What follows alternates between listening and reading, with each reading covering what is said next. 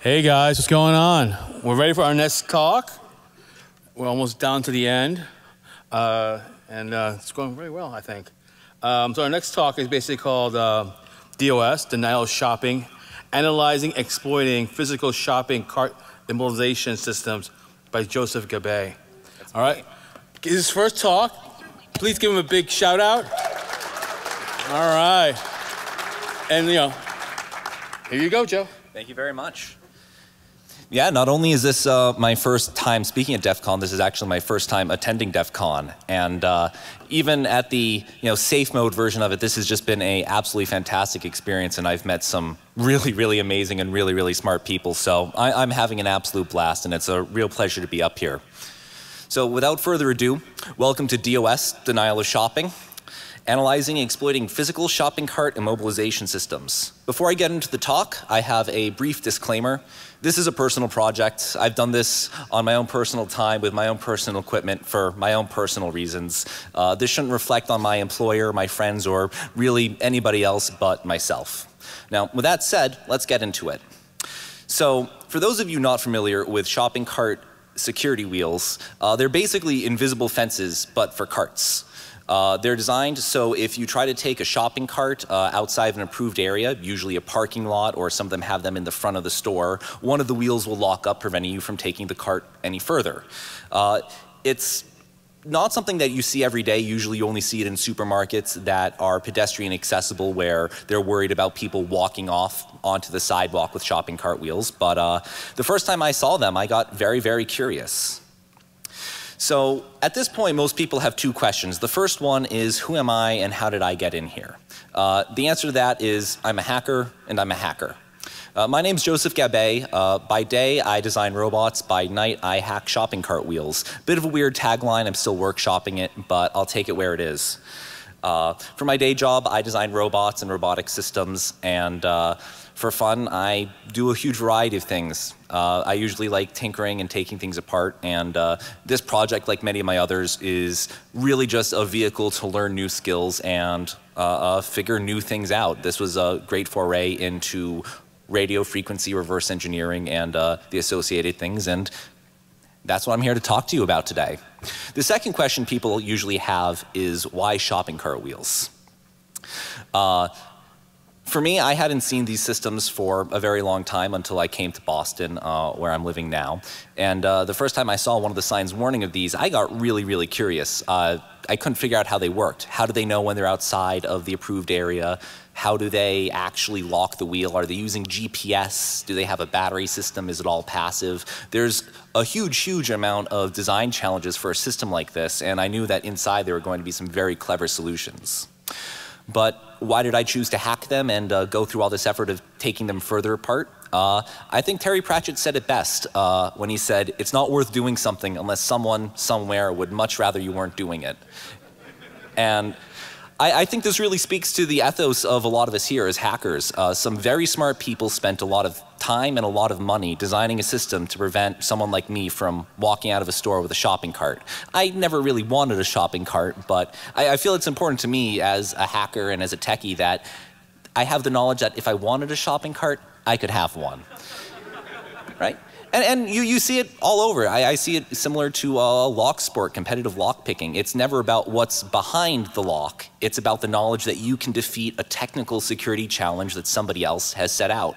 And Gatekeeper Systems uh, in their marketing materials say that it's about a $180 million a year uh, loss center. So there's decent financial incentive to get this right. So it should make for a good challenge. And you know, when I tore it apart and saw what was inside, I was definitely very impressed. So Let's say we want to learn about how a random device we have works. In this case, it would be a shopping wheel, but this is a good starting point for any sort of reverse engineering work.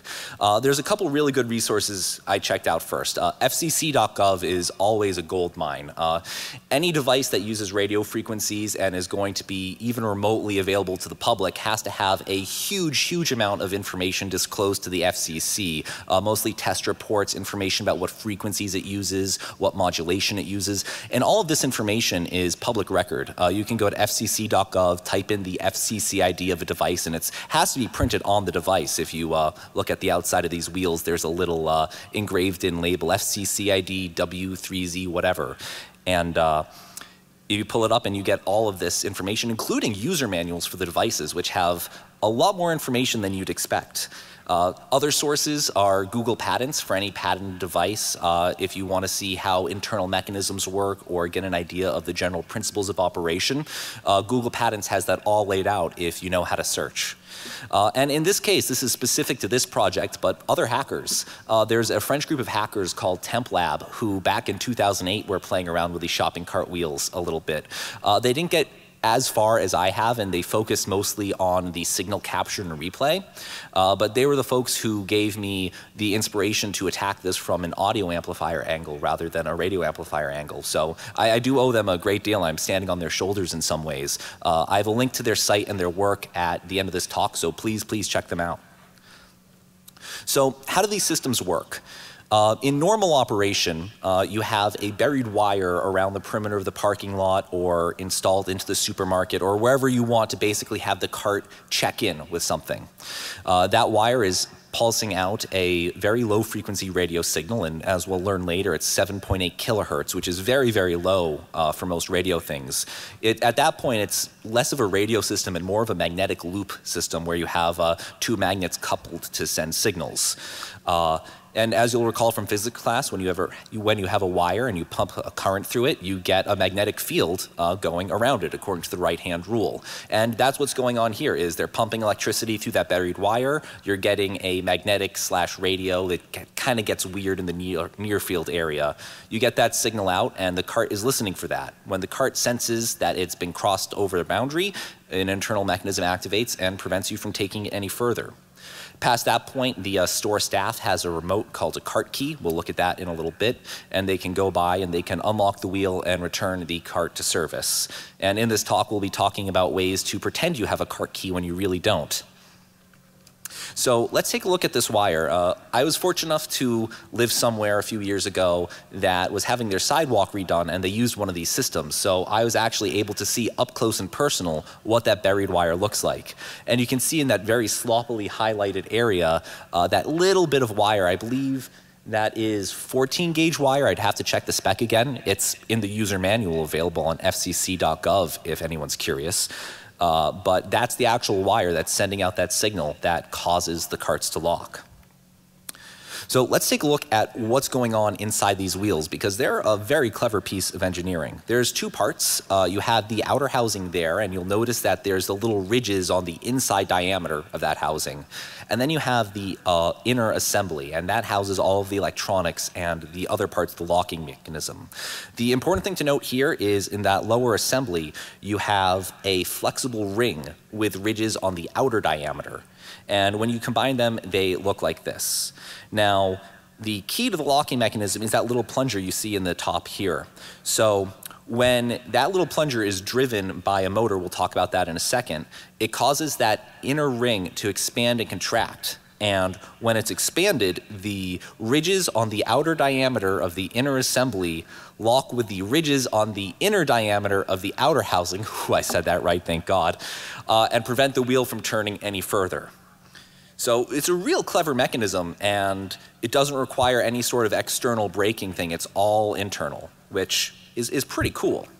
So taking a look at that inner assembly that houses all of the electronics, uh, we see three main parts. There is a 3 volt lithium battery. Uh, this is a non-rechargeable battery. It's the same sort of battery uh, for the coin cell that you see in your badges here, just a 3 volt lithium. Uh, non-rechargeable, all of this is weatherized and super sealed. It was a pain in the butt to get taken apart. I still have a couple cuts on my hand from it. Uh, blood, sweat, and tears went into this project. But uh, yeah, so once that battery is done, the wheel stops working. Uh, most microcontrollers nowadays can run on ultra low power modes, basically waiting for a wake up signal of a radio. So the lifespan of these wheels is actually fairly long, assuming you're not doing any high current application like driving that motor a whole bunch. Underneath that, you have the PCB assembly that holds all of the radios and the electronics as well as the microcontroller. We'll do a zoomed in look about. We'll do a zoomed in look at that in a second. And uh, lastly, under that, you have a little DC motor, and that connects to a gear train, uh, which actually drives that plunger up and down. Taking a look at the PCB, we have a couple cool things going on. First of all, there are two separate antennas. Highlighted up above, there's the 2.4 gigahertz antenna. That is just done on the PCBs. That's really all you need to do it. And uh, the microcontroller, which is a Texas Instruments CC2510, has a built-in 2.4 gigahertz transceiver, so you don't need any separate radio chips or anything additional to support it. You basically just connect the antenna to the microcontroller, and you're off to the races. Uh, the second one you can see on the backside, that little black cylinder is an inductor. And that inductor is acting as the antenna for the 7.8 kilohertz signal. At that low frequencies, you're not really in the antenna range anymore, but that's basically serving the same purpose of picking up that magnetic signal. And uh, off to the right of the microcontroller in the top picture, there's a whole bunch of transistors and amplifiers. I'm not entirely sure how it works, but that's very likely an amplifier circuit that's amplifying the very weak signal you get from that magnetic coupling and turning it into something that the microcontroller the microcontroller can interpret and use. If anyone's got an idea of how an amp like that would work, uh, grab me after the talk. I'm very curious. But uh, moving on, we have that microcontroller. We have below the microcontroller a couple more transistors acting as a bridge to drive the uh, DC motor to lock and unlock it. And lastly of note, to the left, we have a JTAG port. Uh, JTAG ports are used for programming and debugging the microcontroller. Uh, you can do some other fun things off of it. Uh, it is notable that they did not implement uh, firmware readback protection into the microcontroller. So you could hook up to this JTAG port and dump the firmware off of this wheel for uh, later nefarious purposes or educational reasons, your pick. Uh, I haven't had the time to do this yet, so it's left as an exercise to the reader. If anybody uh, does happen to do this and find something interesting, please, my email's at the end of the talk. Uh, I'd be very curious to see what you find. So now that we know how the wheel works, it's time to start capturing some of the signals and seeing what we can do with them. I decided to start with capturing the signal coming out of the buried wire in the parking lot. Uh, there's a couple challenges around this. The first one, as I've mentioned, is that the signal is at 7.8 kilohertz. Uh, this is very, very low uh, when it comes to radio stuff. And most radio amplifiers and software-defined radios don't really support frequencies below 1 megahertz, which is two orders of magnitude too high. So that's a problem. The other problem comes from finding an antenna to work with this. Generally in radio applications, and I'm not a radio engineer, so uh, I, I uh, surely won't get this perfectly, but generally you want your antenna to be close-ish or an integer multiple of your radio frequency, your radio wavelength. The wavelength of this signal in this case is about 32 kilometers. So despite my best efforts, I wasn't able to build tens of mile long antenna for this project. If I did, I'd have a great transmission radius and I'd lock every shopping cart on the East Coast, but a little outside of my budget for this talk. Now, this is where the folks at TempLab uh, were a huge boon because they realized that 7.8 kilohertz is well within the audio range. So you can use just regular audio amplifiers and audio processing tools to deal with this signal, and you don't actually have to treat it as a radio signal. So this is where I would like to give a brief apology. Do we have any uh, RF or electrical engineers in the audience? All right, I'm sorry, guys. I'm not really sorry. Uh, please, please send your hate mail to me after this. I'd love to learn how I could have done this better, but I'm about to do some very janky radio things right here. So I needed to capture this signal, and I had an idea. I built myself a loopstick antenna using a ferrite core, a bunch of magnet wire, and a cordless drill. Uh, I, I, did do a smart thing, and after consulting the ARRL, ARRL handbook a whole bunch, uh, added a couple tuning capacitors and tried to do a decent job at it, but eh. But, and I wired all of this into a 3.5 millimeter headphone jack. You'll also notice there's a resistor in there to trick my phone into thinking that that jack belonged to a microphone and not a set of speakers. I think you can see where this is going. So, I decided to take a little field trip and see what could go wrong. So I went to my local redacted store that has uh, one of these systems. And I plopped this monstrosity down on the seam where you could see this wire, and I opened up a audio spectrogram app. And what do you know? There's a signal. if we zoom in a little bit, we can see that, just as expected, we see a signal at 7.8 kilohertz. This somehow worked. Uh, we also see one at 15.6, but that's just due to resonance. That's, that's totally expectable. And uh, because it was an audio app, I could open up a voice recorder and I recorded this as a MP3 file and I loaded it into Audacity. And here we go. Here's the signal. Uh, you can see from here, it is the signal to lock it follows a pattern where it's an eighth second series of pulses followed by an eighth second rest period, and it just keeps repeating that pattern four times a second forever. And that's what it takes to lock a shopping cart. If we zoom in, uh, we can see, and first of all, I should note that there's no frequency shift modulation. This is all just happening at 7.8 kilohertz. It's very, very basic, but this is what the message looks like. Uh, we have at the start and end of it uh, some longer pulses. Those are start and stop bits to let the receiving end know when the message is starting and stopping. And in the middle, we have eight payload bits. Now, if you were a shopping cart wheel, this would be some very exciting news, but 10001110. And that is all that's right. That's all that's required to lock a shopping cart wheel is uh, sending this at 7.8 kilohertz. So that's that's all I could get from what was easily available. To go any further, I needed to uh, get some more equipment. Now, through the magic of eBay, I honestly could not believe it.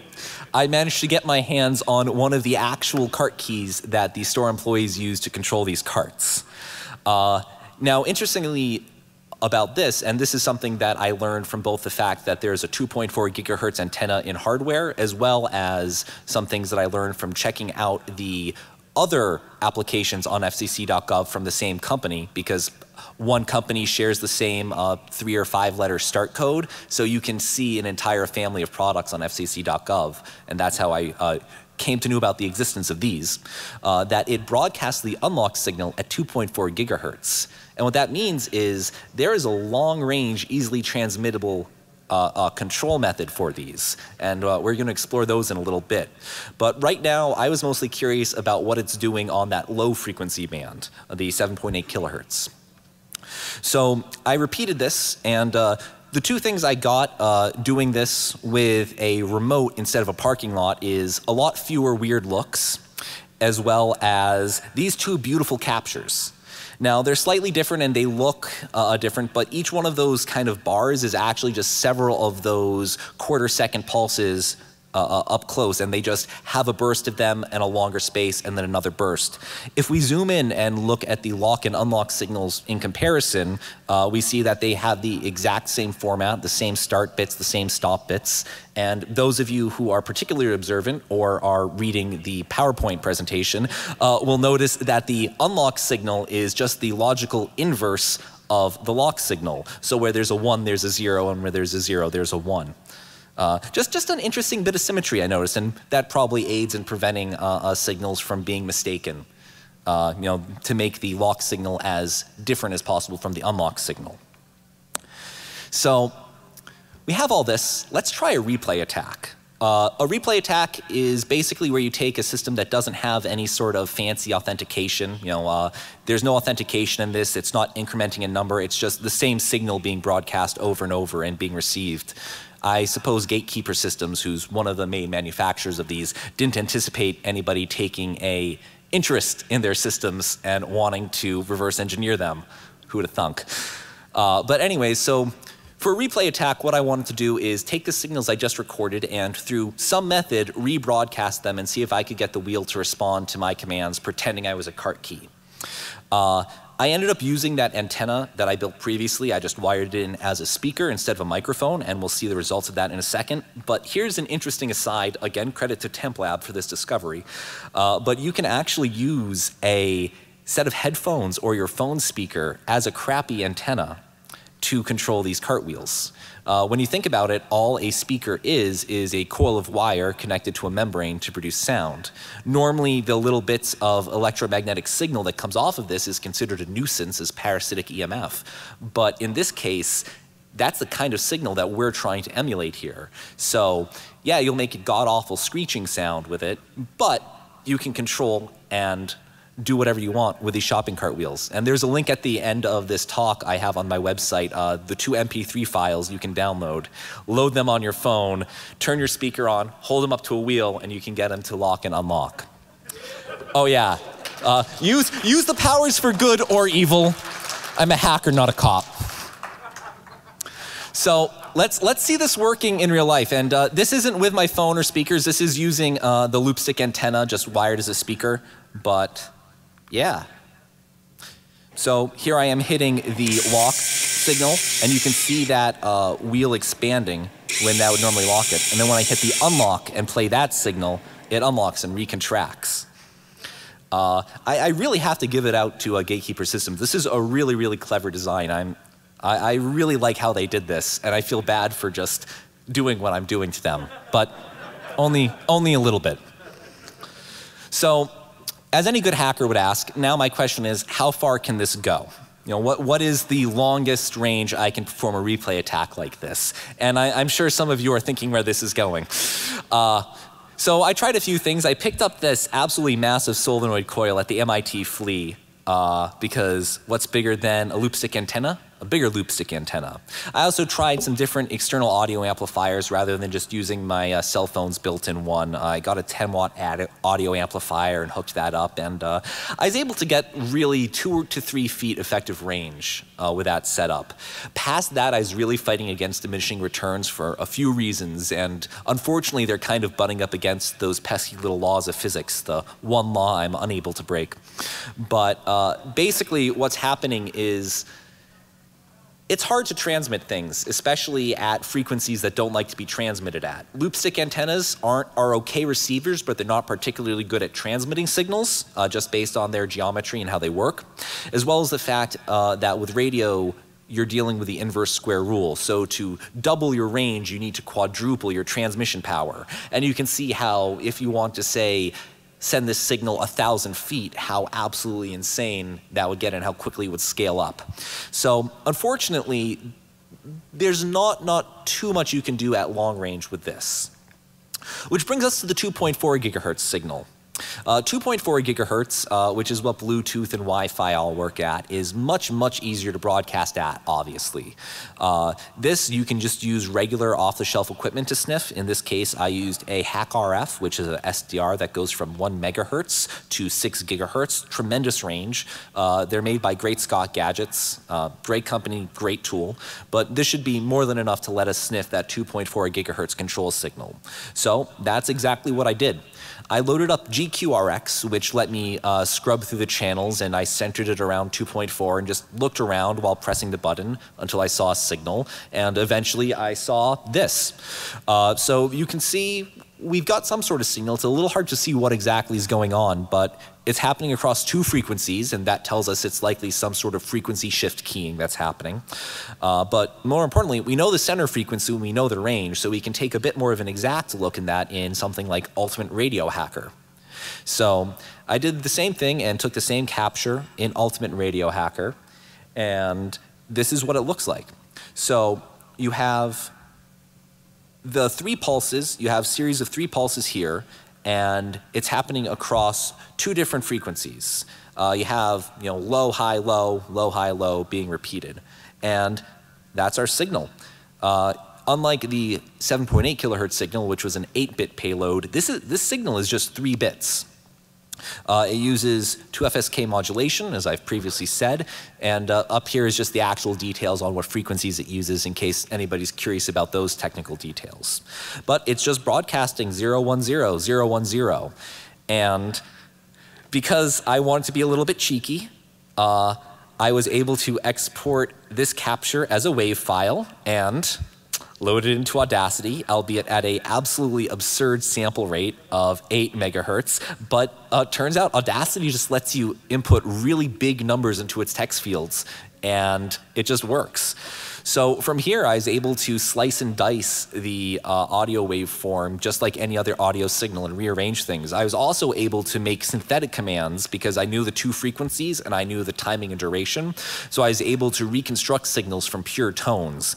And uh, then I can export it as a WAV file, and Ultimate Radio Hacker will actually let you play a WAV file through a software defined radio. And that's exactly what I did. So here's what the signal that I reconstructed looks like. Uh, it's the two frequencies we discovered earlier, and uh, I just measured out how many microseconds each one was, as well as the interval between them. And I just made this three-bit pattern and uh, set it to repeat forever. And I played that back to the hack RF. And this one takes a little bit longer, but we can see what happens. I go ahead and click play, and if we go over to the workbench here, I have a wheel that I modified to run off a benchtop power supply. After a few seconds, it closes. Now, the interesting thing about this method is 2.4 gigahertz is incredibly easy to broadcast.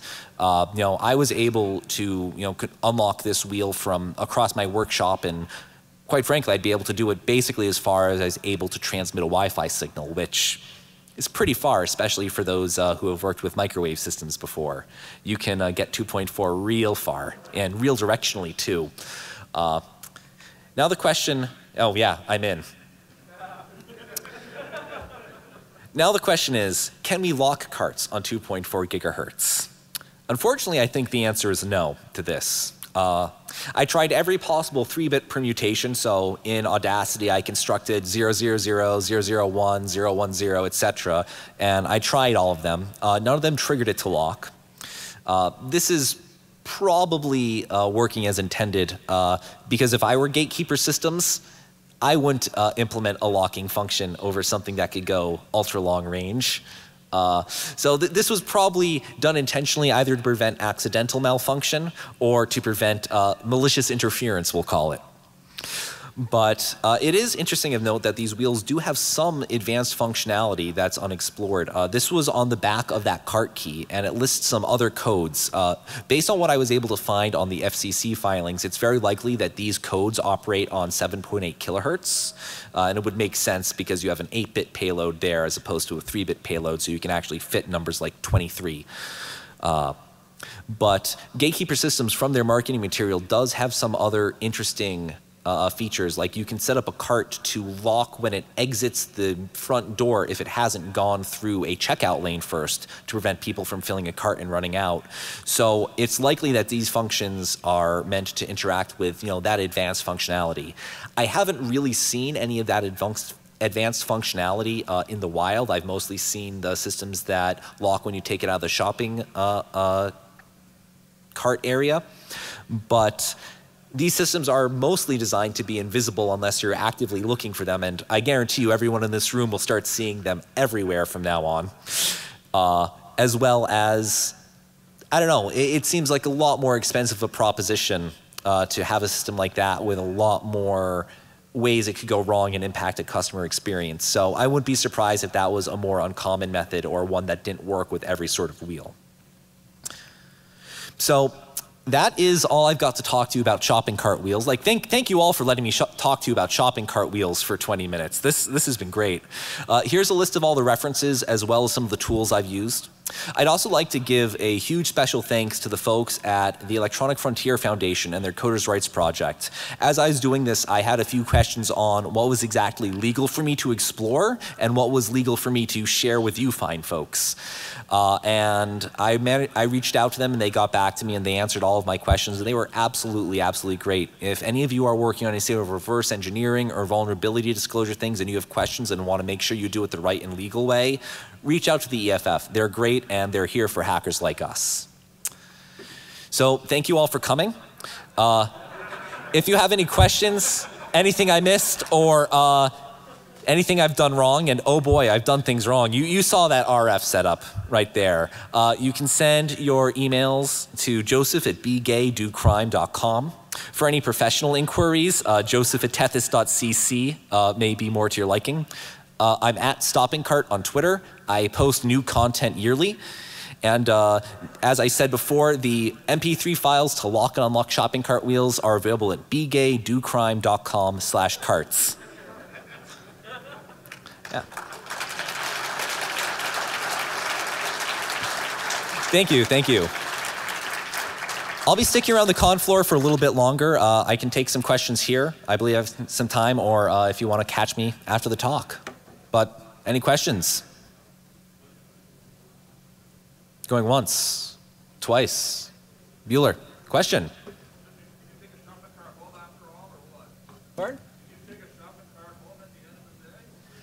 I've been advised by the EFF not to discuss that.